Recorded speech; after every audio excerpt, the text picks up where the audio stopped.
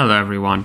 If you would like to download your list of contacts from your GetResponse account to your computer, stick with me till the end of this video. I'm Pedro and I will help you out.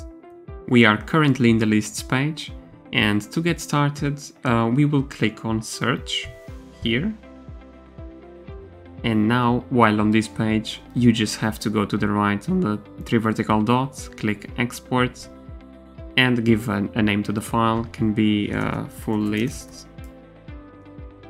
This will export uh, your whole list as we didn't select anything in specific and as you can see you have three formats here that you can select. I will click CSV, then you just click export file and contacts exported. And when this happens, uh, you will see that it will appear here and then you have to download it. So you have to go here and download.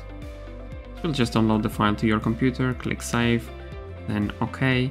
And this is the, the whole contact list. If you want just a specific one, you can go to advanced search and select the, the list here that you want. For example, if I want to export my list A, I'll just go here and then do exactly the same process.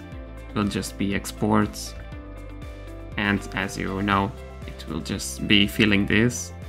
And another way would be uh, if you are in the lists page, if you click on the list directly instead of search, you can then follow the same process once again.